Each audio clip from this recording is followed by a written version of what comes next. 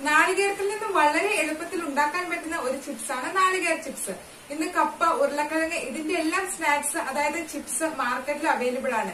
എന്നാൽ ഇതിൽ പലതരത്തിലുള്ള പ്രിസർവേറ്റീവും അതുപോലെ തന്നെ കെമിക്കൽസ് കളർ ഇതെല്ലാം ചേർക്കുന്നുണ്ട്. എന്നാൽ നാളികേരത്തിൽ നിന്ന് വളരെ എളുപ്പത്തിൽ ഡ്രൈ പ്രോസസ്സിലൂടെ ഉണ്ടാക്കുന്ന നാളികേര ചിപ്സ് യാതൊരു പ്രിസർവേറ്റീവോ കെമിക്കൽസോ കളറോ നമുക്ക് ചേർക്കേണ്ടതില്ല. അതുപോലെ തന്നെ എണ്ണയിൽ എടുക്കേണ്ട ആവശ്യവുമില്ല. അതുകൊണ്ട് തന്നെ നമ്മുടെ പ്രോഡക്റ്റിന് നല്ലൊരു ഡിമാൻഡ് തന്നെയാണുള്ളത്. അത് മാത്രമല്ല ഇനി വരും കാലങ്ങളിലും ഇപ്പോഴുള്ള ജനറേഷനും ഹെൽത്തിന്റെ കാര്യം ഒരുപാട് ശ്രദ്ധിക്കുന്നവരാണ്. അതായത് ആരോഗ്യ കാര്യങ്ങൾ ഒരുപാട് ശ്രദ്ധിക്കുന്നവരാണ് ഇന്നത്തെ ജനറേഷൻ. അതുകൊണ്ട് തന്നെ നമ്മുടെ ഈ നാളികേര ചിപ്സ് മാർക്കറ്റിൽ നല്ലൊരു സ്ഥാനം പിടിക്കാനായിട്ടുള്ള സാധ്യതയുണ്ട്. അപ്പൊ നമുക്ക് ഈ ബിസിനസിനെ കുറിച്ച് കൂടുതൽ കാര്യങ്ങളൊക്കെ അറിയാം. എങ്ങനെയാണ് ഇതിന്റെ നിർമ്മാണം? എന്തെല്ലാം ലൈസൻസ് ആണ് നമുക്ക് ഈ ബിസിനസ് ചെയ്യാനായിട്ട് ആവശ്യം? എവിടെ നിന്ന് നമുക്ക് ഇതിന്റെ പരിശീലനം കിട്ടും? അതുപോലെ തന്നെ എത്ര രൂപ ഇൻവെസ്റ്റ്മെന്റ് ആവശ്യമായിട്ട് വരും? എത്ര രൂപ പ്രോഫിറ്റ് കിട്ടും? എന്തെല്ലാമാണ് ഈ ബിസിനസിന്റെ പ്രോബ്ലംസ് മാർക്കറ്റ് ചെയ്യാനായിട്ട് സാധിക്കും. ഈ കാര്യങ്ങളൊക്കെ നമുക്ക് നോക്കാം. അതിനു മുമ്പ് എന്റെ ചാനൽ ആദ്യമായിട്ട് വരുന്നവരാണെങ്കിൽ ചാനൽ ഒന്ന് സബ്സ്ക്രൈബ് ചെയ്യുക.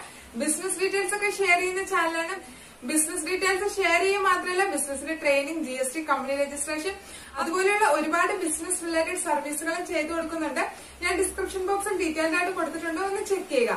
അപ്പൊ നിങ്ങൾ ബിസിനസ് ചെയ്യാനായിട്ട് ആഗ്രഹിക്കുന്നവരാണെങ്കിൽ ചാനൽ ഒന്ന് സബ്സ്ക്രൈബ് ചെയ്യുക. നിങ്ങൾക്ക് എപ്പോഴെങ്കിലും ഉപകാരപ്പെടും. അപ്പൊ നമുക്ക് വീഡിയോയിലോട്ട് കിടക്കാം അല്ലെ?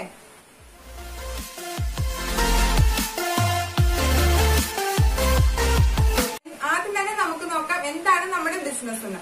നമുക്ക് ഹോൾസെയിൽ ആയിട്ട് നാളികേരം വാങ്ങിച്ച് അതായത് ആറ് തൊട്ട് എട്ട് മാസം വരെ പ്രായമുള്ള നാളികേരം വാങ്ങിച്ച് അതിൽ ആ വെള്ള പോർഷൻ നമ്മൾ എടുത്ത് സ്ലൈസർ ഉപയോഗിച്ച് കട്ട് ചെയ്ത് ഡ്രൈ പ്രോസസ്സിലൂടെ ഡ്രൈ ചെയ്ത് ചിപ്സ് ഉണ്ടാക്കി മാർക്കറ്റിൽ എത്തിക്കുന്നതാണ് നമ്മുടെ ബിസിനസ് എട്ട് മാസം വരെ നമ്മുടെ ഈ ചിപ്സ് കേടാകാതിരിക്കും. യാതൊരു കെമിക്കൽസോ പ്രിസർവേറ്റീവോ കളറോ നമ്മൾ ആഡ് ചെയ്യേണ്ട ആവശ്യമില്ല.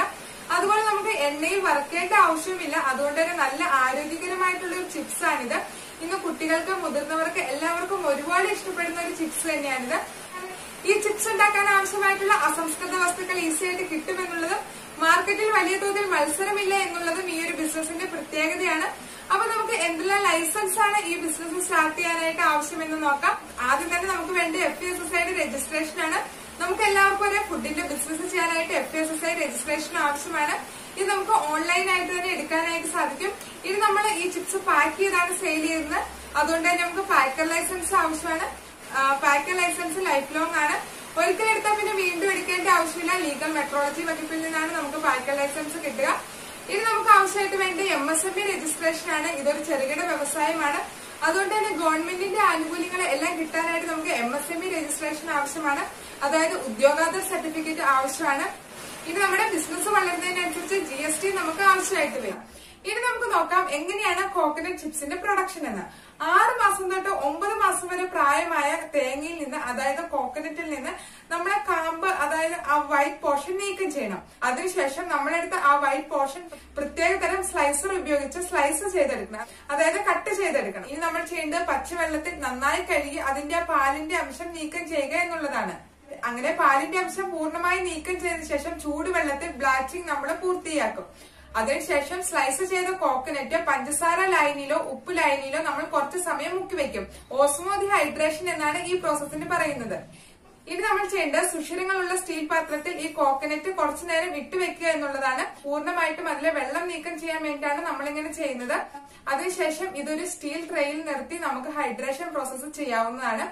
ഹൈഡ്രേഷൻ പ്രോസസ്സിന് വേണ്ടി നമുക്ക് ഡ്രയർ യൂസ് ചെയ്യാവുന്നതാണ്. ഏകദേശം എട്ട് മണിക്കൂറോളമുള്ള പ്രോസസ്സിലൂടെയാണ് നമുക്ക് ഈ ചിപ്സ് ഉണ്ടാക്കാനായിട്ട് സാധിക്കുക. ഇങ്ങനെ ഉണ്ടാക്കിയ ചിപ്സുകൾ നമുക്ക് പാക്ക് ചെയ്ത് സെയിൽ ചെയ്യാനായിട്ട് സാധിക്കും. നമുക്ക് നോക്കാം എങ്ങനെയാണ് ഇനി ചിപ്സ് നമുക്ക് പാക്ക് ചെയ്യാനായിട്ട് സാധിക്കുന്നത്. നല്ല അട്രാക്റ്റീവ് ആയിട്ടുള്ള കവറുകളാണ് നമ്മൾ ഇതിനു വേണ്ടി സെലക്ട് ചെയ്യേണ്ടത്. എങ്കിൽ മാത്രമാണ് കസ്റ്റമേഴ്സിനെ നമ്മുടെ പ്രോഡക്റ്റിലോട്ട് ആകർഷിക്കാനായിട്ട് സാധിക്കുകയുള്ളൂ. അലുമിനിയം ഫോയിൽ കോളിന്റെ മൾട്ടി ലെയർ ഫിലിം യൂസ് ചെയ്തിട്ട് നമുക്കിത് പാക്ക് ചെയ്യാനായിട്ട് സാധിക്കും. ഇരുപത് ഗ്രാം മുപ്പത് ഗ്രാം അമ്പത് ഗ്രാം എന്നിങ്ങനെയാണ് നമ്മൾ പാക്ക് ചെയ്യേണ്ടത്. വാക്കം ചെയ്ത് കവറിനുള്ളിലെ പ്രകൃതിദത്ത വായു നീക്കി നമ്മൾ നൈട്രജൻ വായു ഫില്ല് ചെയ്താൽ ചിപ്സിന്റെ ക്രിസ്പിനെസ് ഒരുപാട് നാളെ നമുക്ക് നിലനിർത്താനായിട്ട് സാധിക്കും. അത് മാത്രമല്ല ഫോം ഫിൽ മെഷീൻ യൂസ് ചെയ്തിട്ട് ഒരു മാല പോലെയും നമുക്കിത് പാക്ക് ചെയ്യാനായിട്ട് സാധിക്കും. അപ്പൊ ഏറ്റവും കൂടുതൽ ശ്രദ്ധിക്കേണ്ട കാര്യം നമ്മുടെ പ്രോഡക്റ്റിലോട്ട് കസ്റ്റമേഴ്സിനെ അട്രാക്ട് ചെയ്യാനായിട്ട് നല്ല അട്രാക്റ്റീവ് ആയിട്ടുള്ള കവർ യൂസ് ചെയ്യുക എന്നുള്ളതാണ്. പ്രിന്റ് ചെയ്ത കവറുകൾ യൂസ് ചെയ്യുക. അതുപോലെ തന്നെ നൈട്രജൻ ഫില്ല് ചെയ്യുകയാണെങ്കിൽ ക്വാളിറ്റി നമുക്ക് ഒരുപാട് തോന്നിപ്പിക്കാനായിട്ട് സാധിക്കും. ഇനി നമുക്ക് നോക്കാം എങ്ങനെയാണ് നമ്മുടെ ഈ പ്രോഡക്റ്റിനെ മാർക്കറ്റ് ചെയ്യേണ്ടതെന്ന്. നമുക്ക് സോഷ്യൽ മീഡിയാസ് വഴി നമ്മുടെ ഈ പ്രോഡക്റ്റിന് പബ്ലിസിറ്റി കൊടുക്കാനായിട്ട് സാധിക്കും. ഇന്ന് മാർക്കറ്റിൽ വലിയ തോതിൽ ഇല്ലാത്ത ഒരു പ്രോഡക്റ്റ് തന്നെയാണിത്. അതുകൊണ്ട് തന്നെ നമ്മുടെ ഈ പ്രോഡക്റ്റിനെ കുറിച്ചുള്ള ഇൻഫർമേഷൻ നമ്മൾ കസ്റ്റമറിലോട്ട് എത്തിക്കേണ്ട ആവശ്യമുണ്ട്. ഇന്ന് ഹെൽത്ത് കാര്യങ്ങളൊക്കെ ഒരുപാട് ശ്രദ്ധിക്കുന്ന ആളുകളാണുള്ളത്. അതുകൊണ്ട് തന്നെ നമ്മുടെ ഈ പ്രോഡക്റ്റിന്റെ പ്രത്യേകതകൾ അതായത് ബെനിഫിറ്റ്സ് ഒരു കെമിക്കൽസും ചേർക്കുന്നില്ല. ഡ്രൈ പ്രോസസ്സിലൂടെയാണ് ഈ ചിപ്സ് ഉണ്ടാക്കുന്നത് ഇങ്ങനെയൊക്കെയുള്ള വാല്യുബിൾ ആയിട്ടുള്ള ഇൻഫർമേഷൻ ഒരു വീഡിയോ വഴിയോ അല്ലെങ്കിൽ പല പോസ്റ്ററുകളോ വഴിയോ നമുക്ക് കസ്റ്റമറിലോട്ട് എത്തിക്കാനായിട്ട് സാധിക്കും. അതിനുവേണ്ടി നമുക്ക് സോഷ്യൽ മീഡിയയിലുള്ള പബ്ലിക് ഗ്രൂപ്പുകൾ യൂസ് ചെയ്യാനായിട്ട് സാധിക്കും. എങ്ങനെ ഏഴ് സോഷ്യൽ മീഡിയ ആപ്പുകൾ വഴി നമുക്ക് മാർക്കറ്റ് ചെയ്യാം എന്നൊരു വീഡിയോ ഞാൻ ചെയ്തിട്ടുണ്ടായി. ആ വീഡിയോ കാണാത്തവരാണെങ്കിൽ കണ്ടു നോക്കുക. ആ വീഡിയോ ഞാൻ ഏഴ് ആപ്ലിക്കേഷനുകൾ പറയുന്നുണ്ട്. ആ ഏഴ് ആപ്പുകൾ ഉപയോഗിച്ച് നമുക്ക് ഫ്രീ ആയിട്ട് നമ്മുടെ പ്രോഡക്റ്റിനെ പ്രൊമോട്ട് ചെയ്യാനായിട്ട് സാധിക്കും. ഈ പ്രോഡക്റ്റ് സെയിൽ ചെയ്യാനായിട്ട് നമ്മൾ ലക്ഷ്യം വെക്കുന്ന കസ്റ്റമേഴ്സ് മെയിൻ ആയിട്ട് കുട്ടികൾ തന്നെയാണ്. സിനിമാ തിയേറ്ററുകൾ പാർക്കുകൾ ഇവിടെയെല്ലാം നമ്മുടെ ഈ പ്രോഡക്റ്റ് നമുക്ക് സെയിൽ ചെയ്യാനായിട്ട് സാധിക്കും. മാത്രമല്ല ഷോപ്പുകൾ ബേക്കറികൾ സൂപ്പർ മാർക്കറ്റുകൾ മാളുകൾ ഇവിടെയെല്ലാം നമുക്ക് സെയിൽ ചെയ്യാനായിട്ട് സാധിക്കും. പൊട്ടറ്റോ ചിപ്സിന്റെ പ്രോബ്ലംസും അതുപോലെ തന്നെ കോക്കനട്ട് ചിപ്സിന്റെ ഗുണങ്ങളും എല്ലാം നമ്മൾ കസ്റ്റമേഴ്സിനെ നമ്മുടെ വീഡിയോയിലൂടെ എക്സ്പ്ലെയിൻ ചെയ്ത് കൊടുക്കണം. അതുവഴി നമ്മുടെ കോക്കനട്ട് ചിപ്സ് കസ്റ്റമേഴ്സിന്റെ മനസ്സിൽ ഒരു ഇടം പിടിക്കുക തന്നെ ചെയ്യും. നമുക്ക് എല്ലാവർക്കും തന്നെ അറിയുന്ന കാര്യമാണ് പഴയ കാലത്തെക്കാളും ഒരുപാട് പ്രകൃതിദത്ത വസ്തുക്കൾക്ക് ഡിമാൻഡ് കൂടി കൂടി വരുന്ന ഒരു കാലമാണിത്.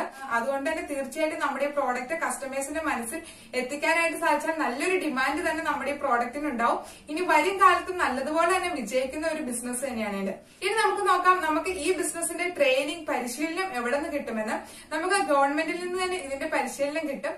Kerala agriculture value and production research and development സെന്ററിൽ നിന്ന് നമുക്ക് ഇതിന്റെ പരിശീലനം കിട്ടും. ഞാൻ താഴെ ഡിസ്ക്രിപ്ഷൻ ബോക്സിൽ ലിങ്ക് കൊടുത്തിട്ടുണ്ടോ? ഒന്ന് ചെക്ക് ചെയ്ത് നോക്കുക അവിടെ നിന്ന് നിങ്ങൾക്ക് അഡ്രസ്സ് അതുപോലെ ഫോൺ നമ്പർ എല്ലാ കാര്യങ്ങളും കിട്ടും.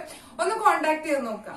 ഇനി നമുക്ക് നോക്കാം ഈ ബിസിനസ് ചെയ്യാനായിട്ട് എത്ര രൂപ നമുക്ക് ഇൻവെസ്റ്റ്മെന്റ് ആവശ്യമായിട്ട് വരുമെന്ന്. നമുക്ക് അഞ്ഞൂറ് സ്ക്വയർ ഫീറ്റ് ഉള്ള ഒരു റൂമാണ് നമുക്ക് ആവശ്യമായിട്ട് വരിക. അതുപോലെ തന്നെ മറ്റു പല മെഷീൻസും നമുക്ക് ആവശ്യമായിട്ട് വരും.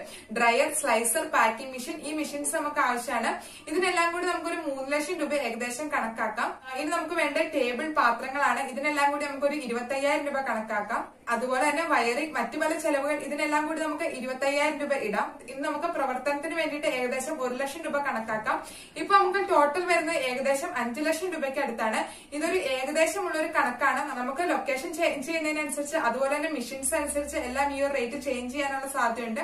ഇനി നമുക്ക് നോക്കാം എത്ര രൂപ ഈ ഒരു ബിസിനസ്സിൽ നിന്ന് നമുക്ക് ഒരു ദിവസം പ്രോഫിറ്റ് കിട്ടുമെന്ന്. ആദ്യം തന്നെ നമുക്ക് നോക്കാം. മുപ്പത് കിലോ കോക്കനട്ട് ചിപ്സ് ഉണ്ടാക്കാനായി എത്ര രൂപ ചിലവ് വരുമെന്ന്. മുപ്പത് കിലോ കോക്കനട്ട് ചിപ്സ് ഉണ്ടാക്കാനായി നമ്മൾ അയ്യായിരത്തി ഇരുന്നൂറ്റി ഇരുപത് രൂപയുടെ തേങ്ങയും മറ്റ് അസംസ്കൃത വസ്തുക്കളുമാണ് വാങ്ങേണ്ടത്.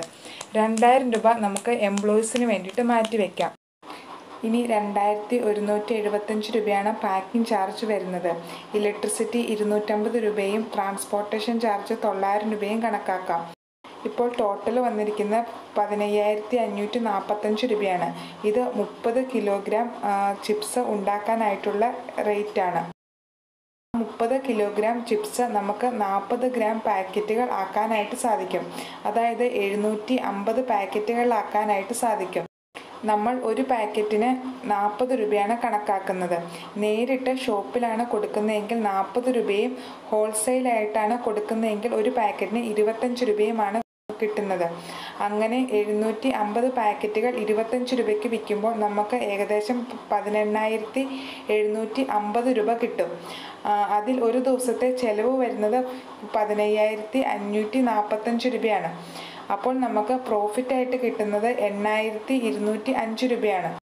ഇത് ഒരു ദിവസത്തെ പ്രോഫിറ്റ് ആണ്. നമുക്ക് ഒരു മാസം ഏകദേശം ഇരുപത്തഞ്ച് വർക്കിംഗ് ഡേയ്സ് ഉണ്ട്. അപ്പോൾ നമുക്ക് ഏകദേശം രണ്ട് ലക്ഷം രൂപയോളം പ്രോഫിറ്റ് കിട്ടാനുള്ള സാധ്യതയുണ്ട്. അപ്പോൾ നമുക്ക് ഏകദേശം പ്രോഫിറ്റ് കിട്ടുന്നത് എണ്ണായിരം രൂപയ്ക്ക് അടുത്താണ്. ഇത് ഏകദേശമുള്ള ഒരു കണക്കാണ്. നമുക്ക് ഇത്രയും ഒരു പ്രോഡക്റ്റ് സെയിൽ ചെയ്യാനായിട്ട് സാധിച്ചില്ല എന്ന് വരാം. അതുപോലെ തന്നെ നമുക്ക് ഇതിൽ കൂടുതൽ പ്രോഡക്റ്റുകളും സെയിൽ ചെയ്യാനായിട്ട് സാധിച്ചെന്നും വരാം. അതുകൊണ്ട് തന്നെ ഏത് ബിസിനസ് ചെയ്യുന്നതിന് മുമ്പും മാർക്കറ്റ് ചെയ്യാനായിട്ട് പറ്റുമോ എന്നുള്ള കാര്യം നോക്കുക. അതിനുശേഷം മാത്രം ബിസിനസ്സിലോട്ട് ഇറങ്ങിത്തിരിക്കുക. ഇനി നമുക്ക് നോക്കാം എന്തൊക്കെയാണ് നമ്മുടെ ബിസിനസിന്റെ പ്രോബ്ലം എന്നുള്ളത്. ആദ്യത്തെ പ്രോബ്ലം ഞാൻ പറഞ്ഞത് തന്നെയാണ്. കസ്റ്റമേഴ്സിന് നമ്മുടെ ഈ പ്രോഡക്റ്റിനെ കുറിച്ച് അറിയില്ല. അതുകൊണ്ട് തന്നെ നല്ല രീതിയിൽ പബ്ലിസിറ്റി കൊടുത്താൽ മാത്രമാണ് കസ്റ്റമേഴ്സിന്റെ വ്യൂവേഴ്സിന്റെ മനസ്സിലോട്ട് നമ്മുടെ പ്രോഡക്റ്റ് എത്തുകയുള്ളൂ. നമ്മുടെ ഈ പ്രോഡക്റ്റിന്റെ പ്രത്യേകതകൾ മനസ്സിലാകുകയുള്ളൂ. അതുകൊണ്ട് തന്നെ സോഷ്യൽ മീഡിയ വഴി നമ്മുടെ ഈ പ്രോഡക്റ്റിന് പബ്ലിസിറ്റി കൊടുക്കേണ്ടത് വളരെ അത്യാവശ്യമാണ്. അത് മാത്രമല്ല ഇന്ന് കേരളത്തിൽ അതായത് തേങ്ങയ്ക്ക് വില കൂടി കൂടി വരുന്ന ഒരു സാഹചര്യമാണുള്ളത്. അതുകൊണ്ട് തന്നെ നമ്മുടെ പ്രോഡക്റ്റിന് നല്ല സെയിൽ ഉണ്ടെങ്കിൽ നല്ല ഡിമാൻഡ് ഉണ്ടെങ്കിൽ നമ്മൾ മറ്റു പല സംസ്ഥാനങ്ങളിൽ നിന്നും ഈ കോക്കനറ്റ് നമ്മൾ കൊണ്ടുവരേണ്ടതായിട്ട് വരും. അത് മാത്രമല്ല ഈ കോക്കനറ്റിന്റെ ടേസ്റ്റിനനുസരിച്ച് നമ്മുടെ ചിപ്സിന്റെ ടേസ്റ്റ് മാറാനായിട്ടുള്ള സാധ്യതയുണ്ട്. അതുകൊണ്ട് തന്നെ എപ്പോഴും നാടൻ തേങ്ങ തന്നെ ഇതിനുവേണ്ടി തെരഞ്ഞെടുക്കാനായിട്ട് ശ്രമിക്കണം.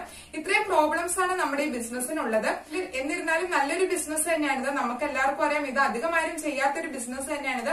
അതുകൊണ്ട് തന്നെ ഇപ്പോൾ ഈ ബിസിനസ് സ്റ്റാർട്ട് ചെയ്യാനായിട്ട് സാധിച്ചാൽ നല്ല രീതിയിൽ വിജയം കിട്ടാനുള്ള സാധ്യതയുണ്ട്. അത് മാത്രമല്ല ഇനി വരും കാലങ്ങളിൽ എക്സ്പോർട്ട് വരെ ചെയ്യാൻ പറ്റുന്ന ഒരു പ്രോഡക്റ്റ് തന്നെയാണിത്. അപ്പൊ ഇന്നത്തെ എന്റെ വീഡിയോ നിങ്ങൾക്ക് എല്ലാവർക്കും ഇഷ്ടമായി ഞാൻ കരുതുന്നു. നിങ്ങൾ ബിസിനസ് ചെയ്യാനായിട്ട് ആഗ്രഹിക്കുന്ന വ്യക്തിയാണെങ്കിൽ ഞാനിടുന്ന വീഡിയോസ് കിട്ടാനായിട്ട്. ചാനൽ സബ്സ്ക്രൈബ് ചെയ്ത ശേഷം അടുത്തുള്ള ഒരു ബെല്ലൈക്കൻ കൂടി